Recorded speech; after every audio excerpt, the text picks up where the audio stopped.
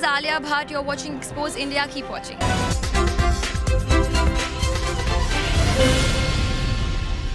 केजरीवाल ने योगी सरकार से उत्तर प्रदेश के सहारनपुर की जेल में बंद चंद्रशेखर से मिलने की इजाज़त मांगी थी, जो उन्हें नहीं मिल सकी इसके बाद केजरीवाल ने ट्विटर पर योगी सरकार को अपने निशाने पर लिया है उन्होंने लिखा, दलितों के नेता को यूपी की भाजपा सरकार ने राजनीतिक द्वेष के कारण काफ़ी समय से जेल में रखा है मैं उनसे मिलना चाहता था, लेकिन यह अत्यंत दुर्भाग्यपूर्ण है कि योगी सरकार ने मुझे इजाज़त नहीं दी।